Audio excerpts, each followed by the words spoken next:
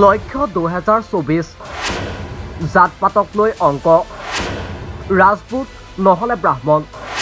কোন উঠিব তোলাচনীত?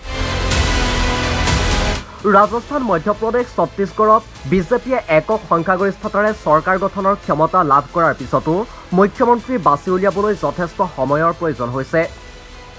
ইতিমধ্যে ছত্তীশগড়ত মুখ্যমন্ত্ৰী বিচাৰি উলিয়ালে বিজেপিয়ে।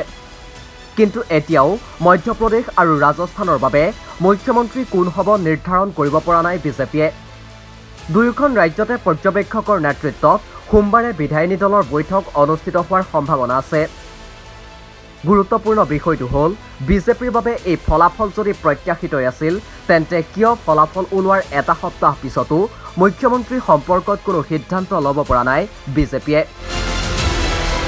কি কাৰণত ইমান সময় লৈছে বিজেপিয়ে? ইয়াৰ প্ৰকৃত ৰহস্য উদঘাটন কৰিবলৈ হ'লে এটা কথাই মন কৰিব লাগিব যে বিজেপিৰ এতিয়া মূল লক্ষ্য হ'ল দুহেজাৰ চৌবিছ চনৰ লোকসভাৰ নিৰ্বাচন।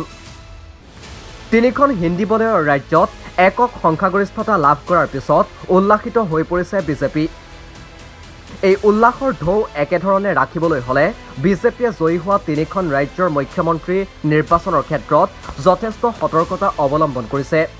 বিজেপিয়ে জাতিগত বিষয়টোক যথেষ্ট অগ্ৰাধিকাৰ দিছে।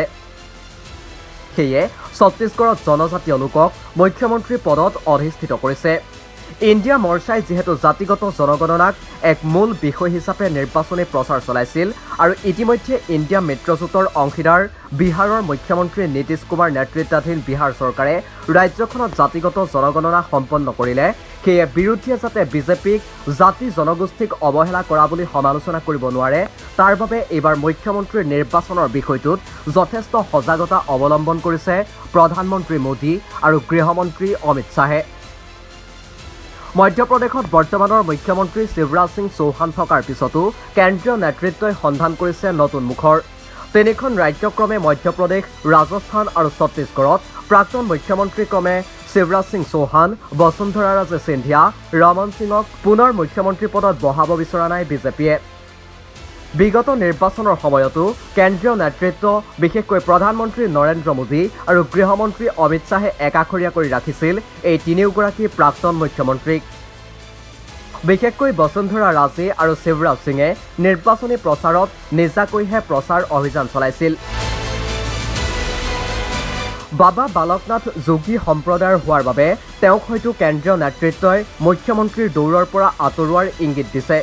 কিয়নো আন এখন হিন্দী বলয়ৰ ৰাজ্য উত্তৰ প্ৰদেশত যোগী আদিত্যনাথ মুখ্যমন্ত্ৰী পদত ইতিমধ্যেই অধিষ্ঠিত হৈ আছে। ইতিমধ্যে ৰাজস্থানত মুখ্যমন্ত্ৰী নিৰ্বাচনৰ বাবে তিনিগৰাকী পৰ্যবেক্ষক নিয়োগ কৰিছে কেন্দ্ৰই। কেন্দ্ৰীয় প্ৰতিৰক্ষা মন্ত্ৰী ৰাজনাথ সিং সৰোজ পাণ্ডে বিনোদ ভাউৰে ইতিমধ্যে ৰাজস্থানত উপস্থিত হৈছে। তেওঁলোকে জয়ী হৈ অহা বিধায়কসকলৰ লগত আলোচনাত মিলিত হৈ বিধায়কসকলে মুখ্যমন্ত্ৰী হিচাপে কাক বেছি পচন্দ কৰে সেই বিষয়ে জনাব। প্ৰথম অৱস্থাত বাবা বালকনাথৰ নাম সঘনাই উচ্চাৰিত হৈছিল যদিও বিজেপিৰ বহুকেইগৰাকী জ্যেষ্ঠ নেতাই তেওঁৰ বয়স কম বুলি আপত্তি দৰ্শাইছে। তদুপৰি যোগী সম্প্ৰদায়ৰ হোৱাৰ বাবেও মুখ্যমন্ত্ৰীৰ দৌৰৰ পৰা আঁতৰিবলগীয়া হৈছে বাবা বালকনাথ। কেন্দ্ৰীয় মন্ত্ৰী গজেন্দ্ৰ সিং শেখাৱত দিয়া কুমাৰী আৰু ৰাজ্যবৰ্ধন সিং ৰাথোৰ ৰাজপুত সম্প্ৰদায়ৰ প্ৰতিনিধি। ৰাজস্থানত কেন্দ্ৰীয় নেতৃত্বই ৰাজপুত অথবা ব্ৰাহ্মণ সম্প্ৰদায়ৰ প্ৰতিনিধিক মুখ্যমন্ত্ৰীৰ আসনত বহুৱাব বিচাৰিছে বুলি দলৰ এক আভ্যন্তৰীণ সূত্ৰই প্ৰকাশ কৰিছে। ব্ৰাহ্মণ সম্প্ৰদায়ৰ ভিতৰত আছে দুগৰাকী ব্যক্তি। তাৰে এগৰাকী হ'ল কেন্দ্ৰীয় ৰেলমন্ত্ৰী অশ্বিনী বৈষ্ণৱ আৰু আনগৰাকী হ'ল ৰাজস্থান বিজেপিৰ সভাপতি চি পি যোশী। ৰাজস্থানত ব্ৰাহ্মণৰ জনসংখ্যা সাত শতাংশ গুজ্জৰ ন শতাংশ ৰাজপুত ন শতাংশ। ৰাজস্থানত মুখ্যমন্ত্ৰী কোন হ'ব? সোমবাৰৰ নিশাৰ ভিতৰতে ঘোষণা হোৱাৰ সম্ভাৱনা আছে।